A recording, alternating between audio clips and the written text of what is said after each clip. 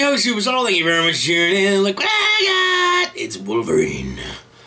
This is Wolverine from the movies. So this is Hugh Jackman's Wolverine. And this is the Amazon exclusive.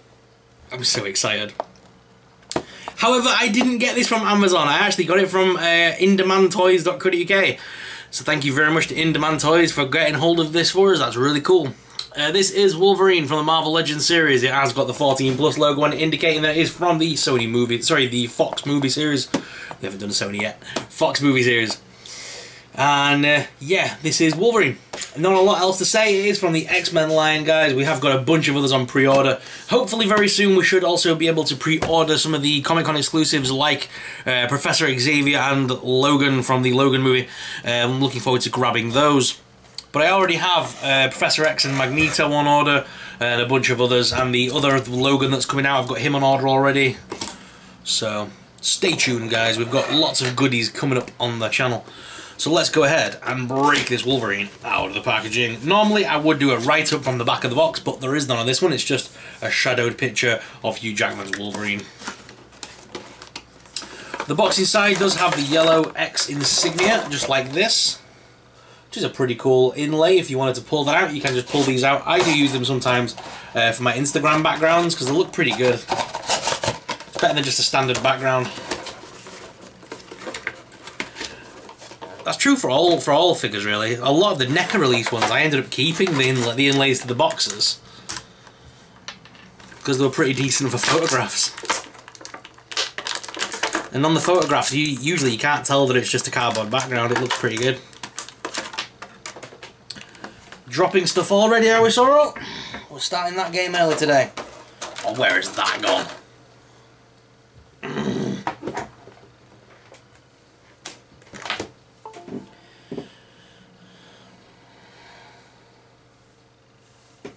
Luckily it's just there.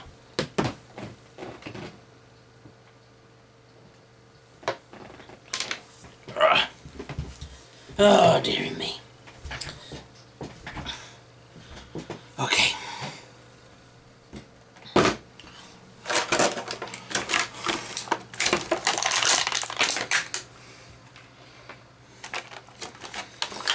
Breaking out of the box.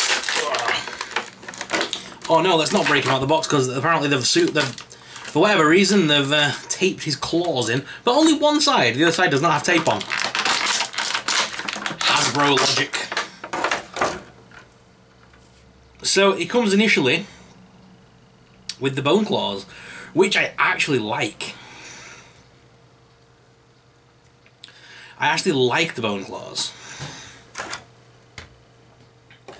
Uh, the bone claws I'm glad he comes with because I'm I want I'll be using those hands with the, the other Wolverines as well. Because the ones that, the ones that came with the Wolverine, the yellow Wolverine with the bone claws that we got, um, they're for the gloved hands, not for bare hands. These ones are for the bare hands.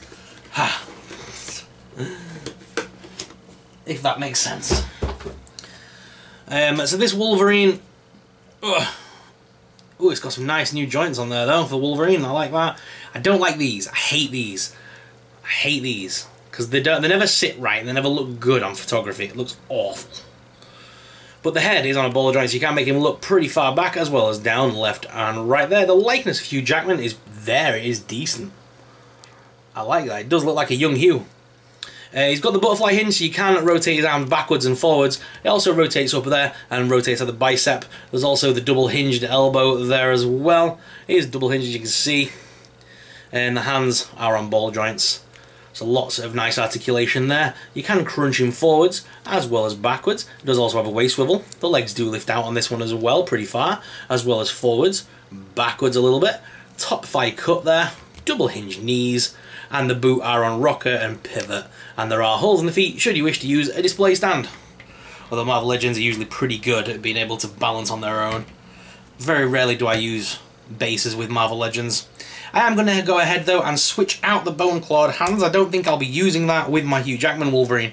Um, I think I would like my Hugh Jackman Wolverine to resemble the, the majority of the movies where he's got the metal claws. So I am going to go ahead and pop those in. And that's how they look. They look pretty good. Whoosh. Nice and thick as well. They're not actually skinny as I thought they were going to be. So they're a pretty new design of claw. Um, just to show you as well, those were the bone claws that came with them, which are pretty decent. I love them. Uh, I will be using them though on a different Wolverine, hopefully.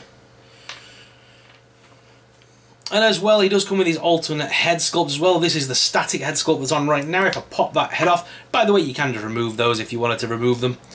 Um, and you can pop on the second head sculpt. Ooh. Stiff. There we go.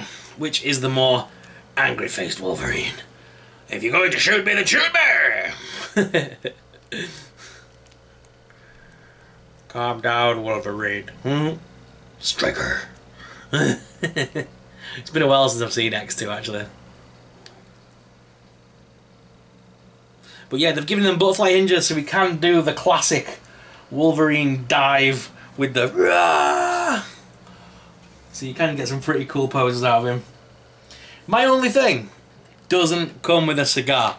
That's probably because it's Hasbro and it, I know it's an adult collectible, don't get me wrong, but Hasbro still design toys for children.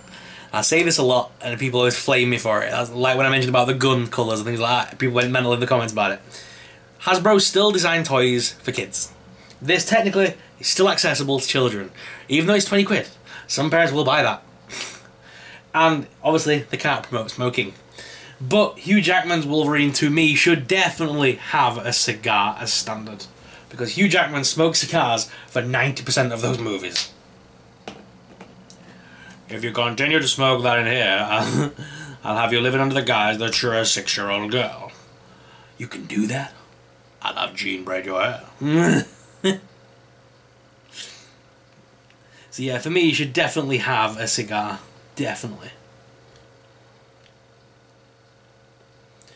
But I like the fact that um, the hands obviously are interchangeable. We can use these claws if we wanted to with our other Wolverines as well. And obviously the heads are swappable, so we can now go ahead and stick Hugh Jackman's head on any of the other figures that we do have in the series. So, without further ado guys, we're going to go down to the desk cam, take a closer look at Wolverine. That secondary head sculpt always never wants to go on. Have a second, have a proper good look at Wolverine and then we're going to have some head swapping fun. so let's head on down to the desk cam! Another really cool variant that they could give us for this Wolverine would definitely be um, a sort of um, unshirted version of Wolverine that's battle damaged. You know, like when he's regenerating in the films, you see the bullet holes in his chest and stuff. That'd be awesome to have like a battle like damaged Wolverine that's mid healing. That'd be cool for photos and stuff. Obviously, I don't think they could ever do that because it'd be pretty gruesome, but that would be pretty cool. So I'm loving the pose I've managed to get him in here, guys. Um, just a sort of generic static sort of standing where he's like alert. I like that face. It's like he just smelt something like saber Sabretooth stalking him or something. Looks pretty cool. I'm a really big fan of this Wolverine. I didn't think I was going to be, and I, I remember saying, like, everyone was saying, like, oh, they've got theirs on pre-order. And I never managed to secure a pre-order with Amazon, and I got really, like, I was kind of, like, over it at that point. I was like, alright, maybe I'm never going to own this figure. And then I got the opportunity to grab it, and I'm so glad I did. Now I've got it in hand. It's possibly one of the best figures I've seen this year. And as a massive fan of X Men and Wolverine and Hugh Jackman in general, this is definitely one of the figures you've got to own, I think. Just looks so good. What do you guys think? Are you a fan of this figure? Let me know in the comments your thoughts on this one. But even the paintwork and stuff, it looks you like you can see like the lines on the shirt and stuff, and you can see the, like the creases in the denim and it just looks realistic. It looks very cool. And those new but new hinges on Wolverine are awesome. Love those. I know we've had those on a couple of Wolverines previously, don't get me wrong, but I like that on this one. It just it makes him so much more posable. It's awesome. But let's have some head swapping fun, because I've been dying to do this. Ah, the Hugh Jackman we all wanted, but no, we never got. the yellow Tiger Stripe Wolverine with Hugh Jackman. Oh, we never got that one. That's a shame. Can you at least return Ryan Reynolds' call so we can have this Wolverine at least? Come on, how awesome would it be to get the actual proper X-Force with Wolverine, with Hugh Jackman as Wolverine in Deadpool 3? That'd be awesome. How Days of Future Past Wolverine should have looked. actually, that's not that bad. I actually like that, you know. If it was snowing outside, that'd be a kick-ass costume for him to wear. Age of Apocalypse, Jackson. oh, poor Hugh Jackman. That looks awful. You know when you played the old 007 GoldenEye game as a kid, and you, you put the you put the cheats in, and you got big head mode. That's what this looks like right now. No fair, bub. Why did they make you taller than me? So as you can see, compared to the regular Wolverines, they've, they've actually made the Hugh Jackman one slightly taller. Well, a little, quite a bit taller. So the Wolverine heads don't fit on the other Wolverine bodies. It makes the head, the head looks too big on the bodies, basically. So it just looks ridiculous. Hence all my photos and stupid hair.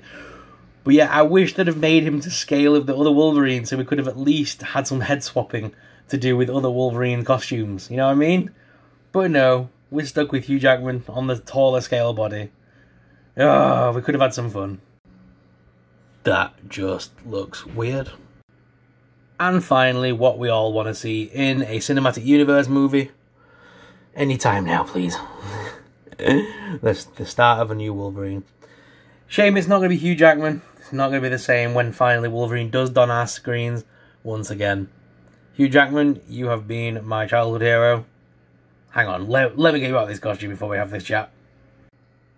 So yes, Mr. Jackson, you, Mr. Jackman, you have been my Wolverine since I was 11 years old. I wasn't even old enough to go to the cinema to see the first X-Men. We had to lie to get me in. But you have been, li been literally Wolverine nearly my entire life, so it's going to be hard to let go of Hugh Jackman as Wolverine for me. But I'm looking forward to seeing what the cinematic universe brings us in the future. But before then, I do hope that, that Hasbro can bring us a few more Hugh Jackman Wolverines. Because let, let's face it, they bring us regular Logans all the time. Hopefully they'll milk this bad boy too. And you know what? I'll buy each and every single one. What are your thoughts on, on this one, guys? Do you like this figure? Let me know in the comments below. So guys, what are your thoughts on Hugh Jackman's Wolverine? Let me know in the comments down below. Is this a figure you're going to be getting for your collection? I'd love to hear back from you guys down in the comments. Thank you very much for watching guys. As always, I'm your host SuperSorrell and I'll see you in the next video. May the Force be with you. Bye!